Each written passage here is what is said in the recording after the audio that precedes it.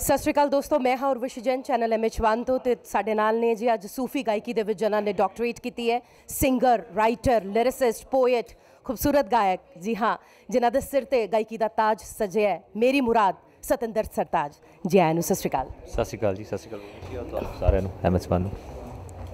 ਸਤਿ ਸ਼੍ਰੀ ਅਕਾਲ। ਸਤਿੰਦਰ ਜੀ ਸਾਈਂ ਤੋਂ the black prince ਦੀ ਜਰਨੀ ਕਿੱਦਾਂ ਦੀ ਹੈ?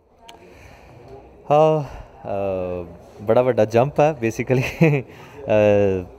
ਉਹ ਇੱਕ ਸ਼ਾਇਰੀ ਦਾ ਜਹਾਨ ਹੋਰ ਹੈ ਔਰ ਅਦਾਕਾਰੀ ਦਾ ਜਹਾਨ ਬਿਲਕੁਲ ਅਲੱਗਾ ਹੈ। ਜਦੋਂ ਮੈਂ ਕੇਨਸ ਫਿਲਮ ਫੈਸਟੀਵਲ ਗਿਆ ਤੇ ਮੈਂ ਉਸ ਦੀ ਕੀ ਵਾਈਡਨੈਸ ਦਾ ਅੰਦਾਜ਼ਾ ਲਗਾਇਆ ਕਿ ਕਿੰਨੀ ਦੂਰੋਂ ਦੂਰੋਂ ਕਿੰਨੇ ਮੁਲਕ ਦੇ ਦੁਨੀਆ ਤੇ ਕਿੱਥੇ ਕਿੱਥੇ ਫਿਲਮ ਇੰਡਸਟਰੀ ਬਣੀ ਹੋਈ ਹੈ, ਕਿੱਥੋਂ ਕਿੱਥੋਂ ਲੋਕ ਇੱਕ ਜਗ੍ਹਾ ਤੇ ਆਉਂਦੇ ਨੇ। So it was very overwhelming and shivering astonishing and honourable experience for me and पर शायरी मेरा पहला इश्क है तो ये हमेशा थी है और रहेगी अ, लेकिन मैं इसके लिए शु, शुक्रगुजार हूँ मैं परमात्मा ਦਾ ਰੱਬ ਦਾ ਆਪਣੇ ਅ, ਚਾਹੁਣ ਵਾਲਿਆਂ ਦਾ ਜਿਨ੍ਹਾਂ ਨੇ ਮੇਰੇ ਅਫਸਾਨਿਆਂ ਨੂੰ ਆਪਣੇ ਦਿਲ 'ਚ ਅ, ਮੁਹੱਬਤ ਦਿੱਤੀ ਔਰ ਜਗ੍ਹਾ ਦਿੱਤੀ ਔਰ ਆਪਣਾ ਸਮਝਿਆ ਹਰ ਇੱਕ ਅਫਸਾਨੇ ਨੂੰ ਉਹਨਾਂ ਦਾ ਮੈਂ ਤਹਿ ਦਿਲ ਤੋਂ ਮਸ਼ਕੂਰ ਹਾਂ ਉਹਨਾਂ ਦੀ ਬਨਿਸਬਤ ਹੀ ਅੱਜ ਤੁਸੀਂ ਸਰਤਾਜ ਤੋਂ the Black Prince Maharaja Dalip Singh ਦਾ ਕਿਰਦਾਰ ਕਰਨ ਦੇ ਕਾਬਿਲ ਹੋ ਸਕੇ ਹੋ ਜੀ।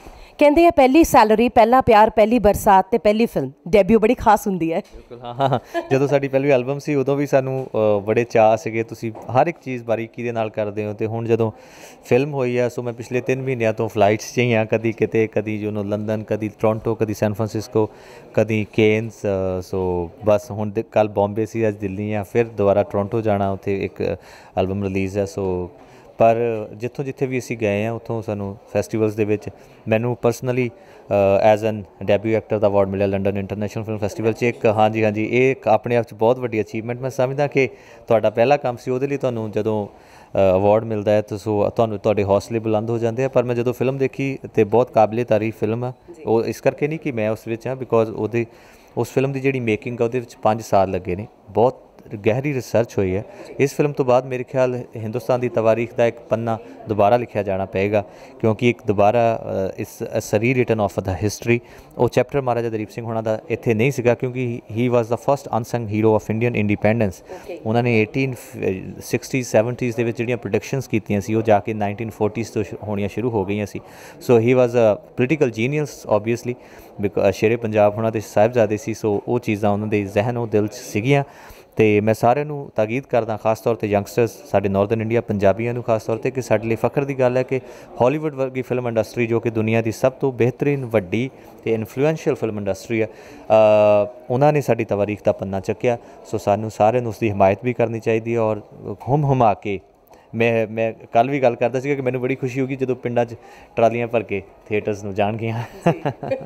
ਬੜੀ ਸੋਹਣੀ ਵਿਜ਼ਨ ਹੈ ਸਰਤਾਜ ਦੀ ਪਰ ਇੱਕ ਗੱਲ ਜ਼ਰੂਰ ਜਾਰਜ ਕੈਲਿਸ ਨਾਲ 뮤직 ਜੈਲ ਕਿੱਦਾਂ ਹੋਇਆ ਤੁਹਾਡਾ? ਜਾ ਜਾ ਜਾ ਹੀ ਇਜ਼ ਯੂਰੋਪੀਅਨ ਨੇ ਤੇ ਉਹਨਾਂ ਦੀ ਲੈਂਗੁਏਜ ਤੇ ਕਮਾਂਡ ਜਿਹੜੀ ਇੰਗਲਿਸ਼ ਆ ਉਹ ਵੀ ਬੜੀ ਟ੍ਰਿਕੀ ਸੀ ਬਿਕੋਜ਼ ਉਹਨਾਂ ਦੀ ਮਦਰ ਟੰਗ ਹੋਰ ਆ।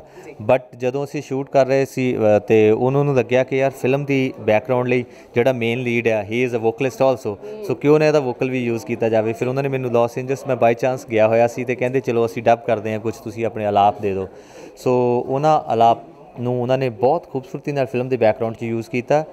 ਔਰ ਅ, ਇੱਕ ਜਗ੍ਹਾ ਤੇ ਉਹ ਜਿੱਦਾਂ ਉਹ ਤੁਹਾਨੂੰ ਰਿਦਮ ਦੇ ਦਿੰਦੇ ਆ 뮤직 ਦਿੰਦੇ ਕਹਿੰਦੇ ਚਲੋ ਆਲਾਪ ਲਾਓ ਤੇ ਮੈਂ ਇੱਕ ਦੋ ਕੁ ਲਾਈਨਾਂ ਸੀ ਮੇਰੇ ਗੀਤ ਦੀਆਂ ਉਹ ਮੈਂ ਗਾ ਦਿੱਤੀਆਂ ਤੇ ਉਹ ਪ- ਚੀਜ਼ ਉੱਠਦੀ ਦਿਲਾਂ 'ਚੋਂ ਸੋਹਣੇ ਦੇਸ਼ ਦੀ ਔਰ ਉਸ ਤਰ੍ਹਾਂ ਉਹ ਫਿਲਮ ਤਾਂ ਯੂਜ਼ ਹੋਇਆ ਨਹੀਂ ਮੈਨੂੰ ਵੀ ਭੁੱਲ ਗਿਆ ਕੀਤਾ ਸੀਗਾ ਉਸ ਤੋਂ ਬਾਅਦ ਇੱਕ ਹੋਰ 뮤직 ਡਾਇਰੈਕਟਰ ਸੈਮੀ ਚੰਦ ਹੋਣੀ ਲਾਸ ਐਂਜਲਸ ਤੋਂ ਉਹਨਾਂ ਨੇ ਉਹਨਾਂ ਕੋਲੋਂ ਵੋਕਲਸ ਲਈਆਂ ਸਿਰਫ ਦੋ ਲਾਈਨਾਂ ਨੂੰ ਉਹਨਾਂ ਨੇ 5 ਮਿੰਟ ਦਾ ਗੀਤ ਬਣਾਇਆ ਤੇ ਹੁਣ ਅਸੀਂ ਉਹ ਰਿਲੀਜ਼ ਕਰ ਰਹੇ ਆ ਐਲਬਮ। ਉਹਦਾ ਨਾਮ ਹੈ ਕਿ inspired by the Black Prince ਉਹਦੇ ਵਿੱਚ ਮੈਜੋਰਿਟੀ ਬਲਕਿ ਸਾਰੇ ਅਮਰੀਕਨ ਸਿੰਗਰਸ ਨੇ ਕਾਫੀ ਮੇਰੇ ਤੋਂ ਤੇ ਬਹੁਤ ਵੱਡੀ ਸ਼ਖਸੀਅਤ ਹੈ। ਉਹਨਾਂ ਦੀ ਬਹੁਤ ਜ਼ਿਆਦਾ ਫੇਮਸ ਨੇ ਉਹ ਲੋਕ।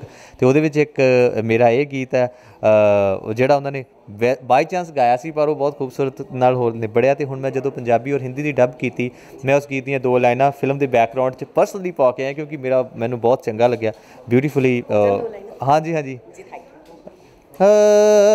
ਚੀਸੇ ਉੱਠਦੀ ਦਿਲਾਂ ਚੋਂ ਸੋਹਣੇ ਦੇਸ ਦੀ ਮੈਂ ਕਿਨੂੰ ਕਿਨੂੰ ਦੱਸਾਂ? ਵੇਲਿਓ ਮੇਰਾ ਇਸ਼ਕਾ।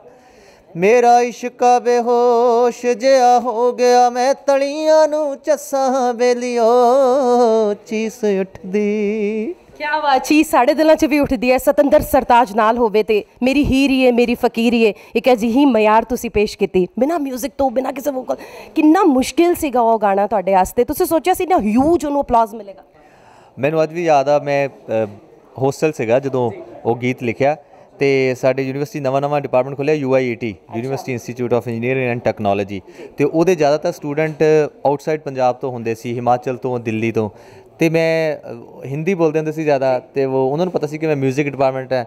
ਤੇ ਮੈਂ ਉਹਨਾਂ ਨੂੰ ਸੁਣਾਉਣਾ ਮੈਂ ਕਿਹਾ ਯਾਰ ਜੇ ਮੈਨੇ ਗਾਣਾ ਲਿਖਾ ਹੈ तो ਹਿੰਦੀ ਸਪੀਕਿੰਗ ਪਰਸਨ ਵੀ ਉਹ ਕਹਿੰਦੇ ਭਈਆ ਇਹ ਬੜਾ ਸੂਦਿੰਗ ਹੈ ਬੜਾ ਖੂਬਸੂਰਤ ਹੈ ਹਮੇ तो ਆਪਣੀ ਮਸ਼ੂਕ ਯਾਦ ਆ ਰਹੀ ਹੈ।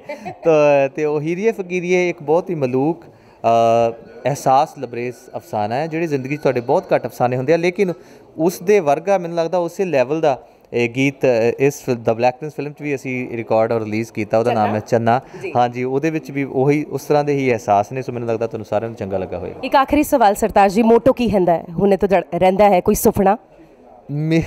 ਨਹੀਂ ਮੈਂ ਜ਼ਿਆਦਾ ਖਾਬ ਦੇਖੇ ਨਹੀਂ ਜ਼ਿੰਦਗੀ 'ਚ ਨਾ ਹੀ ਦੇਖਣ ਦਾ ਖੁਆਇਸ਼ਮੰਦ ਹਾਂ। ਮੈਂ ਜ਼ਿੰਦਗੀ ਨੂੰ ਐਕਸੈਪਟ ਕਰਦਾ ਜਿੱਦਾਂ ਪਰਮਾਤਮਾ ਉਹ ਤੁਹਾਨੂੰ ਦਿੰਦਾ।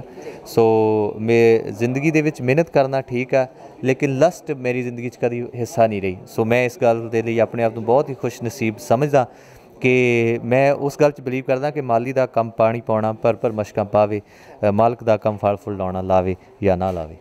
ਬਹੁਤ ਬਹੁਤ ਸ਼ੁਕਰੀਆ ਮਿਚਵੰਦ ਦੇ ਨਾਲ ਗੱਲ ਕਰਨ ਵਾਸਤੇ। ਤੁਹਾਨੂੰ ਬਹੁਤ ਬਹੁਤ ਕੰਗ੍ਰੈਚੁਲੇਸ਼ਨਸ ਤੁਹਾਡੀ ਨਵੀਂ ਰਿਲੀਜ਼ ਹੋਣ ਵਾਲੀ ਮੂਵੀ ਦ ਬਲੈਕ ਪ੍ਰਿੰਸ ਵਾਸਤੇ। Thank you